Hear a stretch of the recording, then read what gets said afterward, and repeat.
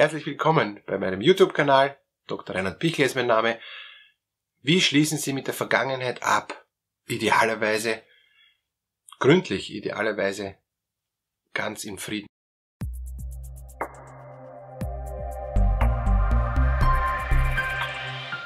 Sie sehen schon, das ist nicht so einfach, ähm, schon von der Formulierung her, dass ich mit der Vergangenheit abschließe. Und ich glaube auch, wir können auch mit der Vergangenheit gar nicht ganz abschließen, indem wir sie abschneiden, vergessen, erledigt, will da nicht mehr dran denken, egal wie furchtbar sie war. Gehört zu uns. Es, es ist ein Teil unseres Lebens und, und auch wenn es ein furchtbarer Teil unseres Lebens ist, wenn es ein schmerzhafter Teil unseres Lebens ist, aber es gehört zu uns, es bleibt bei uns. Genauso wie meine Vorfahren ein Teil meiner Geschichte sind. Ich komme halt von denen. Was soll ich machen? Und ich kann schon sagen, das ist nicht, äh, auf das bin ich nicht stolz und, und, und äh, leider habe ich ihre Gene, das kann ich schon alles sagen, aber das, das ist nicht, ähm, nicht zum Leugnen. Ich behalte die Gene, ich kann mir die nicht austauschen. Ja? Und ich behalte meine Vergangenheit, ich kann sie mir nicht austauschen.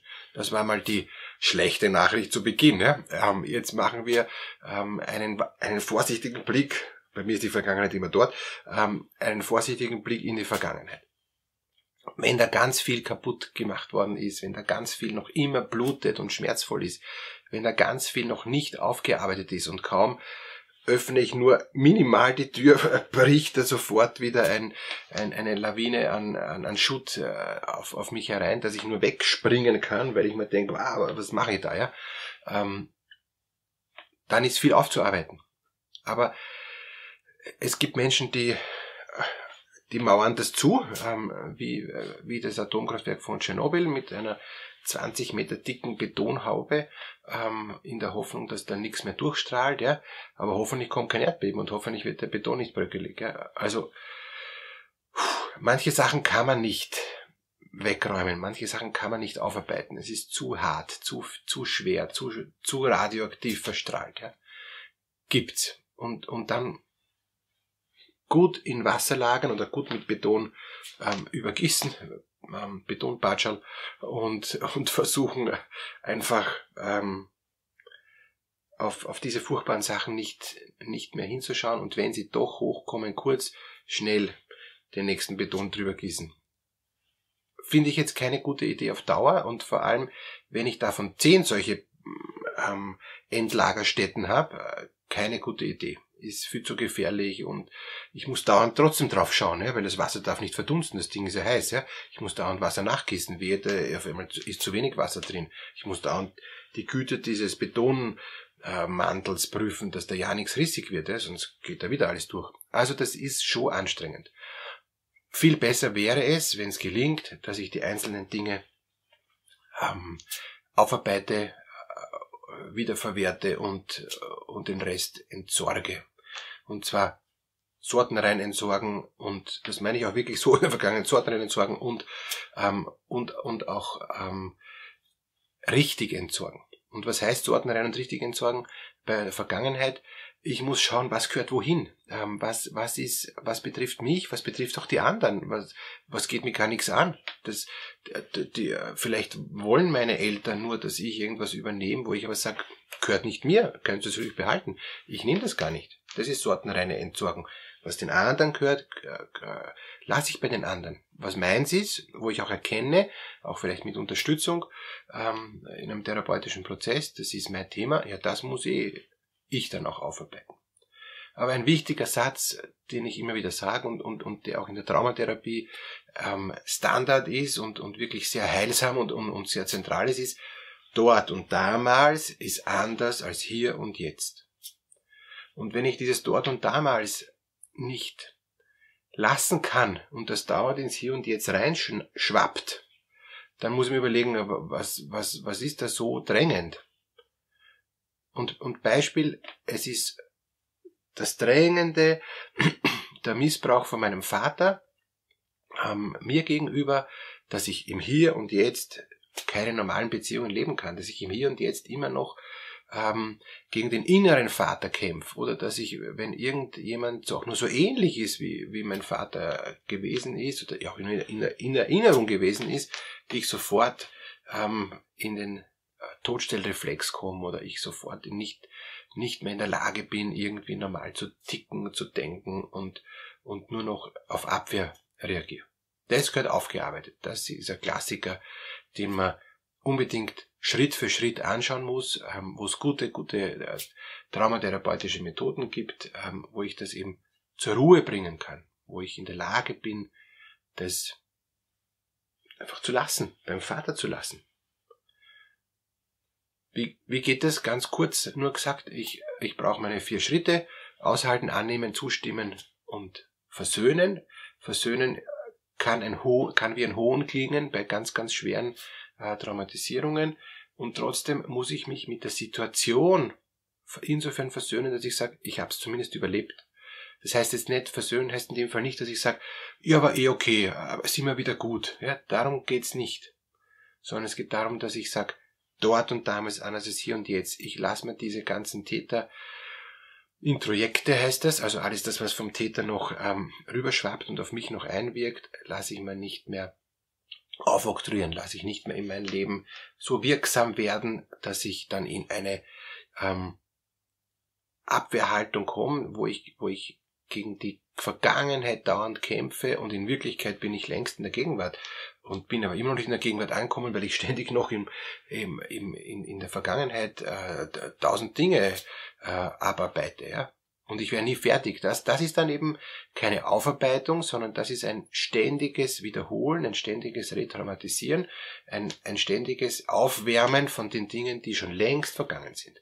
Und das ist keine hilf hilfreiche Sache. Deshalb unbedingt Vergangenheit, Vergangenheit lassen, auch als Vergangenes erkennen und das nicht, ich darf es nicht wieder reinholen. Und das ist oft eine Gefahr, dass, dass, dass man es wieder reinholt in die Gegenwart und versucht, mit heutigen Mitteln zu lösen ähm, und, und sich zu denken, wenn ich es heute aber anders mache und wenn ich es meinem Vater jetzt rein sage, dann, dann wird's besser. Gar nichts wird dann besser, ja, weil ähm, ich kämpfe nur, ich mache einen Schattenboxen, der ist längst weg, der entweder ist er, fühlt er sich nicht zuständig, lacht mich aus, ja, oder ähm, oder sagt ja, ich habe mich eh schon zehnmal entschuldigt und ähm, lass mich in Ruhe damit, ja, ähm, oder ich, ich kann mich gern zum hundertsten Mal entschuldigen, ähm, wird aber deshalb trotzdem nicht für mich besser, weil ich es nicht loslassen kann, ja, und wenn sich der zehntausend Mal entschuldigt und sich äh, vor mir abwatscht, wird's auch nicht besser.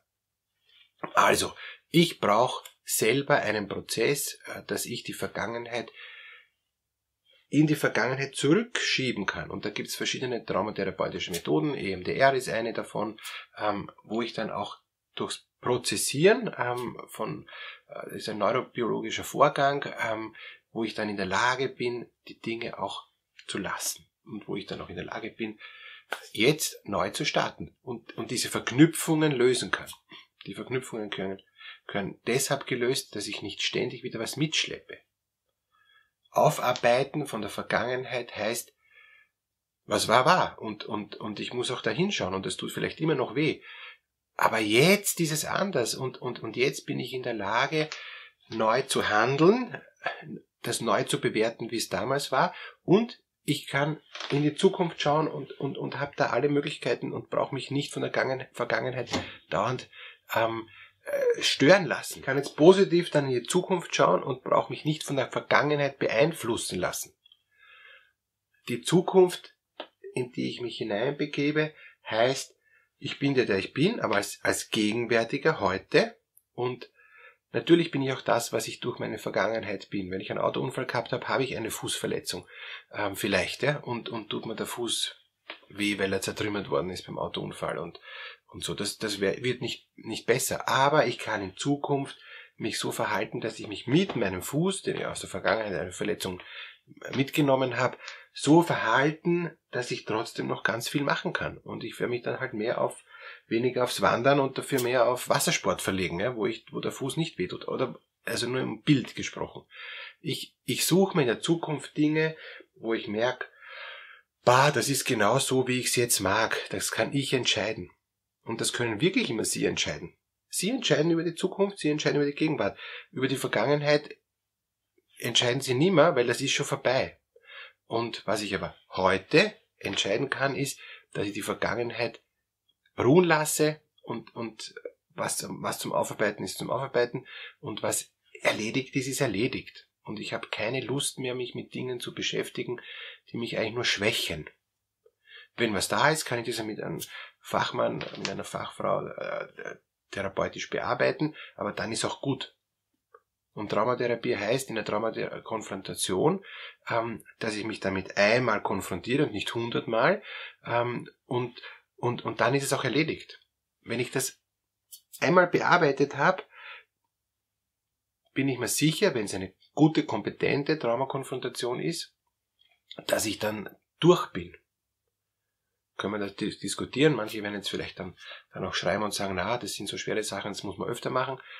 Kann schon sein, aber normalerweise, wenn ich ein gut, wenn ich Ressourcen habe und einen guten und vorher gute Stabilität ähm, geübt habe, ist der dritte Schritt in der Traumatherapie, ähm, dann die Konfrontation. Ich brauche zuerst die Stabilisierung und dann ähm, Täter-Opfer-Dynamik-Bearbeitung und dann eben komme ich eigentlich in, in die Zukunft rein, ja, ähm, nach der Traumakonfrontation. Aber das, da muss ich auch, in der Lage sein, genug Ressourcen zu haben, um es loslassen zu können. Wenn ich andere Störungen noch zusätzlich habe, ja, oder noch eine Psychose dazu oder noch Süchte, ja, dann muss ich, das sind das andere Baustellen, die ich auch noch von der Vergangenheit her mitschleppe und die ich dann auch extra aufarbeiten muss. Klar, das gibt schon und dann brauche ich natürlich länger.